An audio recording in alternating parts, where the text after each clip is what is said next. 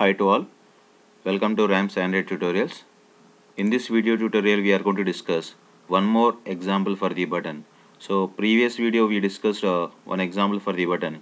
Here one more example. So uh, one more example in a sense uh, one more example in a sense is very easy. So this is a exactly previous program. So we created the button here that is okay fine and coming to here just I am removing this and implements interface. And if you come to here we are using the this keyword previously. Why? Because we are referring the current class and to the current class we are implementing the interface.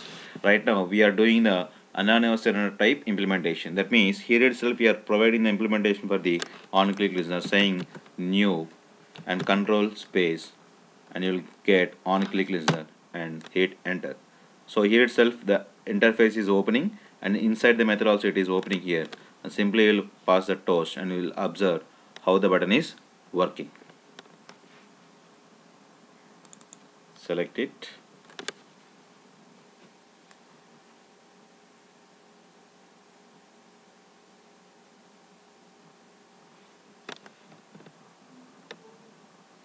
So here we have on click method. So whenever you click this button this on click method is going to execute. So if you are working with a single button or two buttons so this is the best way to use the anonymous sender type and the previous way you, you can use whenever you are working with the multiple buttons. So here I'm using the toast dot make text and we are saying that this that means the context value we need to pass. So I'm this keyword is not going to work it out so that's why I'm using get application context and I'm providing the text that is button is working and uh, I'm giving the duration toast duration is toast dot length underscore long and dot show.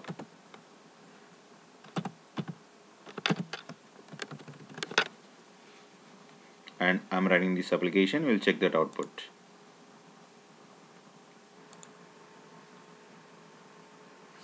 And select the virtual device here okay? And the application is going to run in emulator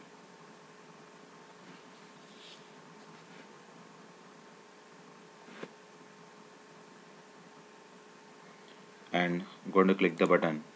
And you will see that toast button is working. Thanks for watching this video. And in the next video we are going to discuss one more example for the button. And if you like my videos you can subscribe my channel and you'll get the code in my blog called RAM's Android for All. So below I'm giving the links for the source code. Thank you for watching